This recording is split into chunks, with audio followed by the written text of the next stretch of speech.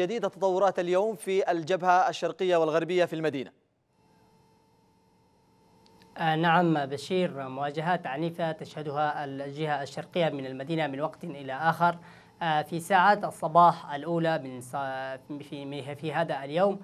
شنت ميليشيات الحوثي وصالح الانقلابية هجوما عنيفا على مواقع قوات الجيش الوطني تحت تغطية نارية كثيفة في محيط معسكر التشريفات وأيضا القصر الجمهوري. وهنا دعني أشير إلى أن قوات الجيش الوطني آه، تراجعت نستطيع القول أنها تراجعت أو انسحبت قليلا بسبب كثافة القصف المدفعي الذي شنته الميليشيات الانقلابية على مواقع قوات الجيش الوطني في أجزاء من القصر الجمهوري وأحببت أن أشير إلى هذه النقطة كي بسبب أن المصدر العسكري الذي تحدث لنا بأن عملية التراجع تأتي لترتيب صفوف قوات الجيش الوطني و العمل على تحرير المواقع التي تم التراجع منها. هذه المواقع التي سقطت بيد الميليشيات الإنقلابية لا نقول سقطت ولكن هي أصبحت خطوط نار في داخل القصر.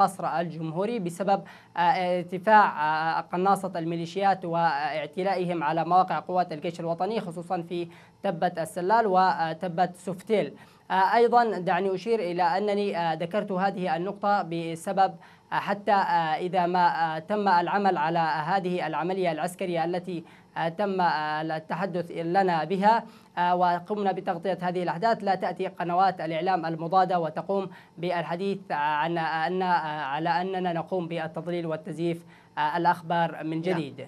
فيما يخص معسكر التشريفات حمزة أيضا هل هناك أي تراجع لقوات الجيش الوطني في معسكر التشريفات؟ كذلك الحال في معسكر قوات الأمن الخاصة كانت هناك أخبار تتحدث بأن الجيش بدأ يصل إلى هذا المعسكر. نعم بشير وكما تحدثت إليك سابقا في معسكر التشريفات شنت الميليشيات الانقلابية هجوما عنيفا على موقع قوات الجيش الوطني لكنها لم تتمكن من إحراز أي تقدم في معسكر التشريفات آه، بسبب صمود رجال آه، أفراد قوات الجيش الوطني هناك في الجهة الشرقية من المدينة. آه، أيضا وكما أشرت أن سبب تراجع قوات الجيش الوطني من القصر الجمهوري هو كثافة القصف المدفعي التي شنته الميليشيات الانقلابية من معسكر الجند معسكر لواء 22 ميكا في منطقة الجند وأيضا جبل أومان شرق المدينة. أما بالنسبة للعملية العسكرية التي انطلقت لتحرير معسكر القوات الخاصة أو ما يعرف بمعسكر الأمن المركزي فقوات الجيش الوطني وصلت إلى أسوار معسكر الأمن المركزي ولا زالت تحافظ على مواقعها في تلك الجهة في تلك الجهة. وأيضا المباني التي تم تحريرها بالأمس من قبل قوات الجيش الوطني أثناء قيامهم بالعملية العسكرية الواسعة التي انطلقت بالأمس لا زالت قوات الجيش الوطني تحافظ على هذه المباني. أيضا دعني أشير إلى أن الميليشيات الانقلابية وكعادتها ترد على آه، هذه الهزائم بقصفها للأحياء. السكنية وسط المدينة بالأمس آه، استهدفت حي في حي شعب الدبة شرق المدينة مما أدى إلى إصابة ثلاثة أطفال من أسرة واحدة جراء استهدافهم بقذيفة من آه، دبابة الميليشيات المتمركزة في تبة سفتيل أيضا الميليشيات الانقلابية قامت بقصف مستشفى الثورة وتحديدا قسم الكلى مما أدت إلى إصابة أحد العاملين فيه. آه، أيضا دعني أشير إلى أنها تستهدف المستشفيات في انتهاك واضح لقوانين الحرب الدولية التي تجرم وتحرم انتهاك آه، أو استهداف نعم. المستشفيات والمدارس بشكل عام.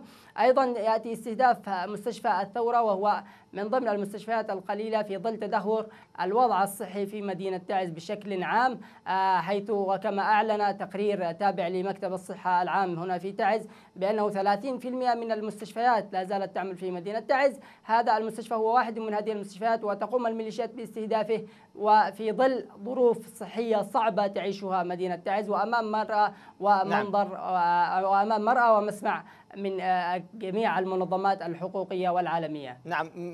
حمزة بالعودة إلى فيما يخص المواجهات والمعارك هل هناك أي إسناد لطيران التحالف العربي لقوات الجيش الوطني والمقاومة في المدينة وعلى وجه التحديد في الجبهة الشرقية؟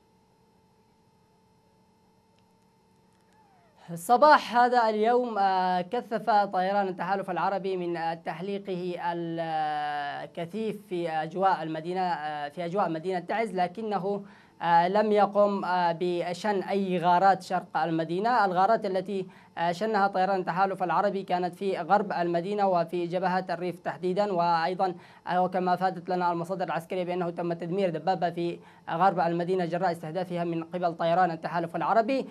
لكن وكما فادت لنا مصادر في قيادة الجيش الوطني بأنهم قد قاموا بإعطاء الإحداثيات الكاملة لمواقع تمركز الميليشيات الانقلابية ومدفعيتهم من أجل أن يقوم طيران التحالف العربي بشن غاراته على هذه المدفعية وتدميرها من أجل تسهيل عملية تقدم قوات الجيش الوطني في الجهة الشرقية من المدينة.